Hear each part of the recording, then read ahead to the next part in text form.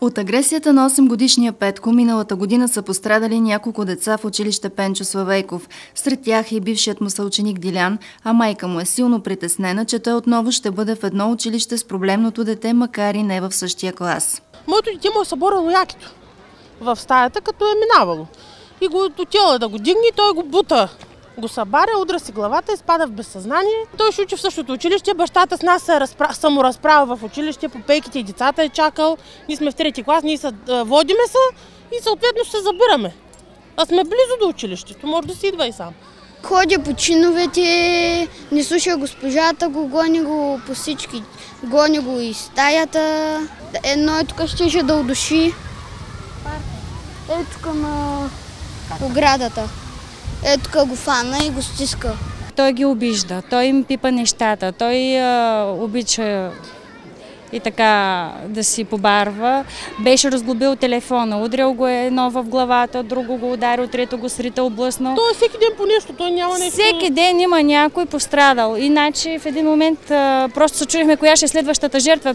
Страхуват се и учителите, класните ръководители на третите класове дори са изпратили писменно мотивиран отказ да преподават на детето до директора. Класната на проблемния ученик в момента била на успокоителни. Миналата година автомобилите на двама от учителите на Петко съмнали с чупени стъкла, а потърпевшите подали жалби до полицията, обвинявайки бащата. Директорът на Пенчо Славейков обаче е категорична, че трябва да спази закона, който позволява на детето да се върне в училище след изтичане на наказанието. Родителите и учителите са силно притеснени от факта, че ученикът Петко Петков Бакраджиев ще бъде ученик в нашето училище по желание на бащата. И след разговорите, които аз водя с тях, задължително, за да могат те да се адаптират, за да получат информация и да са готови за това, което ще се случи, силно притеснени те написаха писмен отказ за това, че не биха могли да се справят с такова дете защото те са педагози, а не са социални работници. За сега сме дали шанс на това дете и чакваме да видим какви ще бъдат, какво ще бъде неговото отношение. Агресивното дете е от проблемно семейство, което се издържа от 670 лева социални помощи.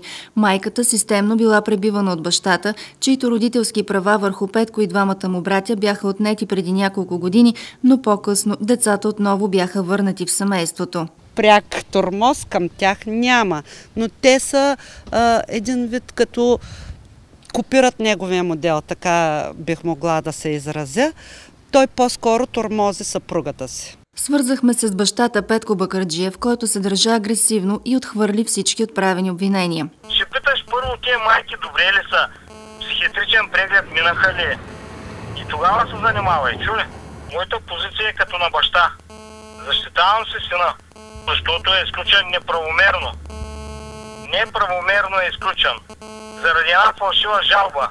Междувременно с нощи в 19.45 часа детски глас е подал по телефона сигнал за бомба в училището. Полицията е отцепила района и претърсила мястото, но взривно устройство не е било открито. Същото обаче се случило и миналата година, а от полицията установили, че подателят е 8 годишният Петко.